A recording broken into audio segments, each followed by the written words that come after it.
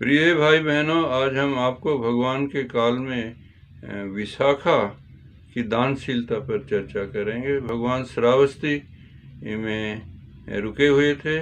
श्रावस्ती में विशाखा भी श्रावस्ती के एक धनवान महिला थी। उन्हें पता लगा भगवान यहीं रुके हुए हैं तो वह भगवान के पास गई और कहा, भगवान के पास नीचे आसन लगाकर बैठ गई और विनम्रता से बोली, भगवान, मैं आपसे आठ वर मांगना चाहती हूँ। भगवान ने कहा, भगवान बिना जाने वर नहीं देते। तो कहा कि, भगवान मैं प्रत्येक वर्ष वर्षा काल में भिक्षु संघ को चिवर दान कर सकूँ और भिक्षुओं को भोजन दान कर सकूँ, रोगी भिक्षुओं को भोजन कर सकूँ, उनकी रोगियों की सेवा कर सकूँ। सेवा के भोजन दे सकूँ, रोगियों को दवा दे सकूँ और खीर का दान कर सकूँ और उन्हें नहाने के वस्त्र दे सकूँ। ओ तो भगवान विशाखा ने उत्तर दिया कि वह बिहार में पहुँची तो देखा कि वहाँ पानी बरस रहा था भिक्षु कुछ निर्वस्त्र भी थे इसलिए उन्होंने चाहा कि वो वर्षा काल में उनको वस्त्र दे सके और वर्षा काल में पहनने के लिए वो भोज भिक्षु थके हुए थे तो होते हैं तो उनको भोजन भी दे सके और उनको भिक्षा भी दे सके। उनको ये अवसर मिलेगा और बीमार भिक्षुओं के वो पाथ्य इलाज उनको ना मिले तो उनका रोग बढ़ जाता है। तो रोगों की सेवा कर सके, उनको औषधि दे सके, खीर का दान दे सके।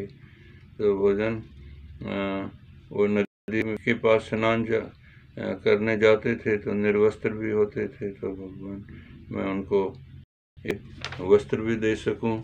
और तब मैं भिक्षुओं के पास जाकर पूछूँगी, क्या इन भिक्षुओं ने कभी श्रावस्ती में निवास किया है? यदि वे कहेंगे हाँ तो इस परिणाम में पूछूँगी कि अवश्य उन भिक्षुओं ने वर्षावास के लिए चिवर प्राप्त किया होगा, आगुंतक भिक्षुओं का आहार प्राप्त किया होगा, या आने वाले भिक्षुओं का आहार प्राप्त किया होगा। तब मेरे मन में प्रसन्नता होगी, आनंद उपजेगा कि उनका सारा शरीर शांत है। इस प्रकार शांत होने से मुझे संतुष्टि मिलेगी, मैं आनंद का अनुभव करूँगी, मेरे हृदय में शांति होगी। यहाँ एक प्रकार से मेरे लिए श्रद्धा बल बढ़ेगा और सात संबोधि अंगों की प्राप्ति होगी। भगवान, मैंने अपने लिए यही पुण्य लाभ सोचकर इन आठ वरों की मांग की है। तब तथागत ने कहा विशाखे ये ठीक है। ये ठीक है, तूने ये लाभ सोचकर ही तथागत से आठ वर मांगे हैं। जो दान के पात्र हैं, उन्हें दान दिया जाता है। वह अच्छी भूमि में बीज डालने के समान होता है, जिससे बहुलता में फल प्राप्त होते हैं। लेकिन जो राग द्वेष के वशीभूत हैं, उनको दिया गया दान खराब भूमि में बीज डालने के समान है। इस प्रकार दान ग्रहण करने वाले के रोग द्वेष मानो पुण्य की वृद्धि में बाधक हो जाते हैं। तत्पश्चात भगवान ने इन शब्दों में हम्म, पुण्य अनुमोदन किया।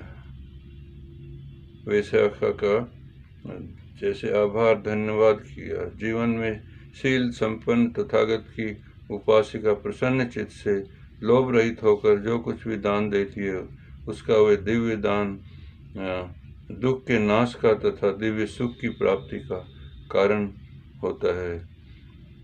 एक आनंददायी जीवन प्राप्त करने, करके यह मल तथा अपवित्रता से दूर रखकर धम्म पथ पर अग्रसर होती है। कुशल कर्म करके वह सुख को प्राप्त होती है और अपने दान कर्मों से हर्षित होती है। विशाखा ने पूर्वाराम विहार को दान किया भगवान को, जो आज भी देखने के लिए है। आप जाएँ श्रावस्ती तो देख सकते हैं, ये दानशील ग्रस्त उपासिकाओं में सबसे अग्रणी थी। आपका मंगल हो, आपका भला हो। संदर्भ ग्रंथ भगवान बुद्ध और उनका धम्म पृष्ठ चालीस बाबा साहब डॉक्टर अंबेडकर द्वारा रचित।